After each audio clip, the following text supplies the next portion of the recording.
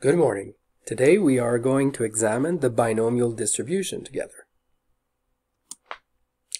A reminder of what a binomial variable consists of, well, it's characterized by certain features, which consist of, first of all, being an experiment where n identical trials take place.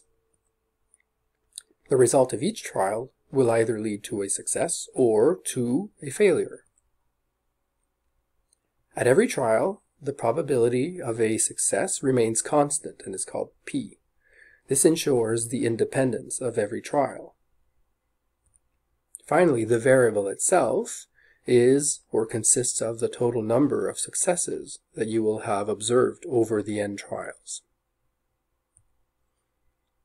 When it comes to representing the binomial law or the binomial variable, we will say that x is a binomial variable if it follows b for binomial, n for the number of trials, and p the probability of a success at every trial.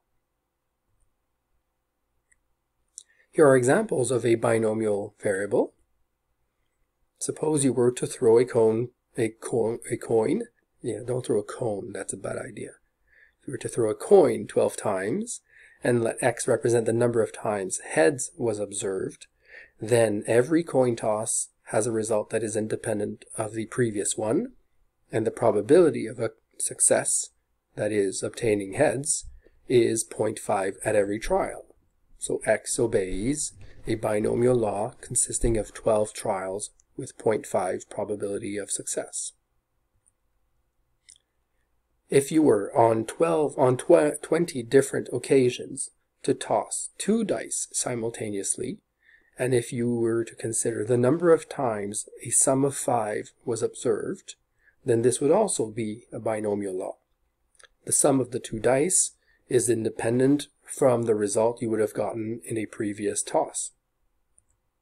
So y in this case would be a binomial law consisting of 20 trials, and I'll let you guys verify that obtaining a sum of 5 does indeed have a probability of 1 over 9. In terms of the expected value, the variance, and the standard deviation for a binomial variable, we have formulas to guide us through them. So n times p is what we would expect is the number of successes we would observe. It could vary in uh, when measured in variance as n times p times 1 minus p, and the standard deviation is the root of the variance. However, if we wanted to calculate the probability that a binomial variable takes on a very specific value, then we're back to counting somehow. If x is a binomial law with n trials and p probability of success, then the probability that x will take on a specific number k, so the probability that we will get k successes on n trials, is equal to n choose k. The trials can lead to k successes, but where those successes are placed can vary. n choose k is how many different ways the successes can be disposed. p to the k, so k successes with probability p, and n minus k failures with probability 1 minus p.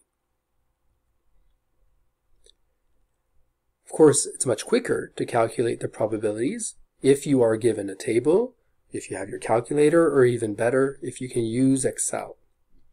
In English versions of Excel, you will find a function called binomial dist or binome dist. Here's an example.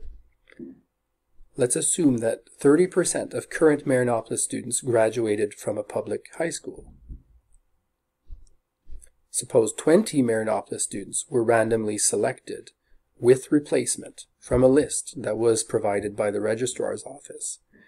Then, from the 20 selected names, we count how many graduated from a public high school. Suppose X represents the number of students who did graduate from a public high school in our sample. Then X is definitely a random variable its value could be zero just as it could be 20. There's no guarantee on the exact number of students in our list that will have graduated from a public high school. Furthermore, can we assume x follows a binomial distribution? Well, absolutely, because it has the characteristics of a binomial.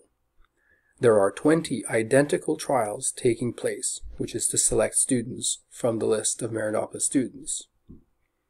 Every time we select a student, an outcome of success or failure will be observed. Either he or she graduated from a public high school or didn't.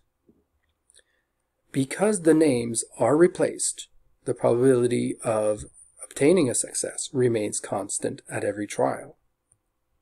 And finally, our goal is to count the number of successes over our 20 trials. How would you label X in a probability notation? Well, in this case, 20 trials with 0.3 probability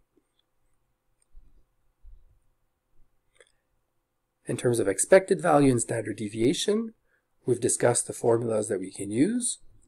So the expected value would be 6 students out of the 20. Of course, that number can vary, and we have variance to give us an order of size of the, uh, of the variability.